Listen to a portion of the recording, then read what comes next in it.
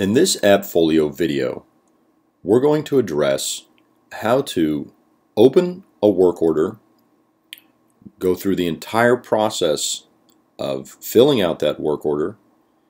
In this case, it's going to be with a vendor, and then the vendor completes the job and the steps that we take to finally not quite close out the order, and I'll explain that from the property manager's perspective, but take it as far as you can take it uh, with knowing that the job has been complete by the vendor. So I'm logged in here to the dashboard is the first screen that I see. I then go to maintenance, work orders, and here are all my work orders. But this is a new work order. In this case, I have received word from a resident at 949 Natoma Street in San Francisco that there is a problem with the glass on the front door. So I open a new service request here by clicking New Service Request. And I begin by simply filling out the, the, the information for the work order. So I've got the property name, 949 Natoma Street. In this case, it's not unit specific because we're dealing with the front door. I do have uh, permission to enter and I plan to give the vendor permission to enter as well. Description.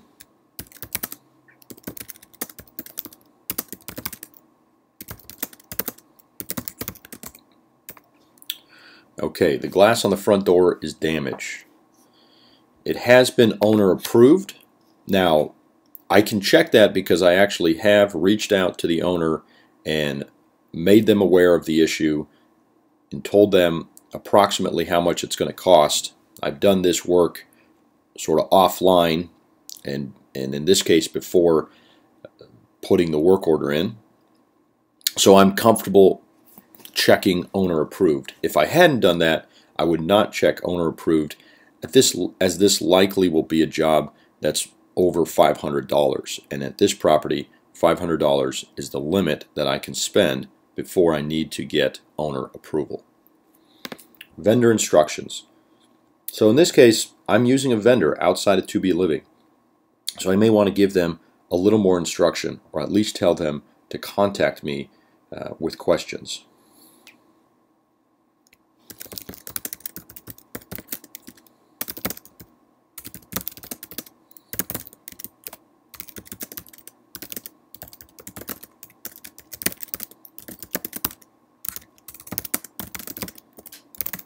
Okay, so I'm telling them there's a lockbox. They can contact me for the code.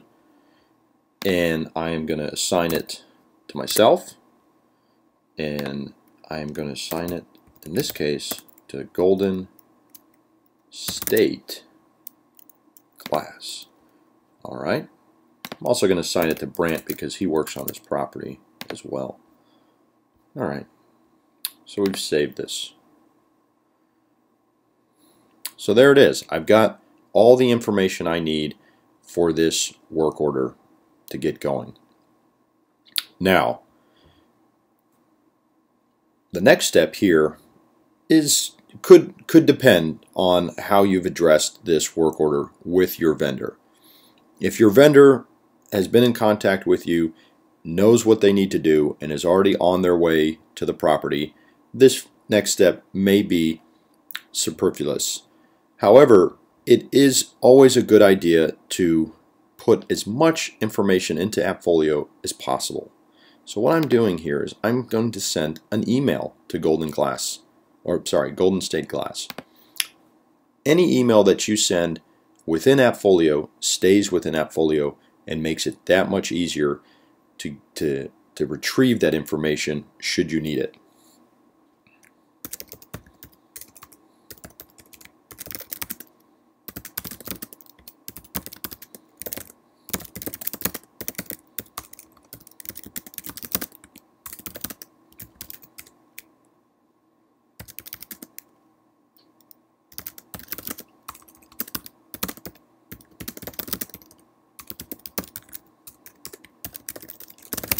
Okay, it's as simple as that. So then I would send it, In this case, I'm not going to because we've already uh, compl actually completed this, this work order. So that would be sent and uh, we would have that information in AppFolio for us to address later. So the time goes by, the vendor addresses the issue, they fix the problem, and they've now uh, told you it's complete. The next thing to do is to mark this as waiting. Waiting is the status of a work order that's complete by a vendor. So that means the vendor has finished the job, has communicated that to you, that the job is complete, and you're now waiting for the invoice.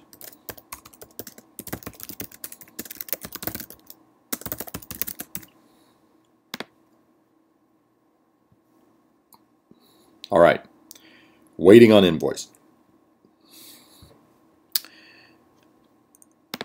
Next step here is receiving the invoice. So, invoice for work order done at 949 Natoma Street. I've got the invoice. In this case, this will be for another video.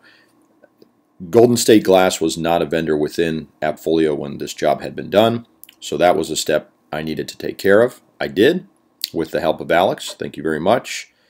And once that was complete, I sent the invoice to Scott saying, please pay this invoice for work order 8096. And I also gave him a little bit of a heads up that there were other expenses coming forth and we should uh, hold back a little cash. That's, that's something that you can do when you know that that is uh, the case. But in this case, the what I'm trying to, to, to illustrate here is you've now received the, the invoice from the vendor, send it to the appropriate accountant on this property, and the ball is now in Scott's court or Juan's court, depending on who your accountant is. But from your perspective, a waiting work order is complete. There's nothing more for you to do as a property manager. It's now up to the accountants to pay the invoice and to fully close out the work order. The last thing I'll note on waiting work orders is when you're reviewing your work orders and trying to determine uh, which ones you need to follow up on, a waiting work order should not be in waiting for more than two weeks without an additional response to the vendor. So if two weeks go by and you haven't received an invoice yet from that vendor, you need to reach back out and say, the job's done, we'd like to get you paid, please send me an invoice. If you have received an invoice and you've sent it over to Scott eh, or Juan, give them two or three weeks to get that paid and closed out. Uh, and if and if it's still not closed out after that amount of time, a gentle nudge uh, to them is certainly appropriate. I'll obviously, keep in mind that they're both very busy with the amount of uh, accounting and units that they have on their plate. And that's it. That's a new work order that gets complete by a vendor step by step.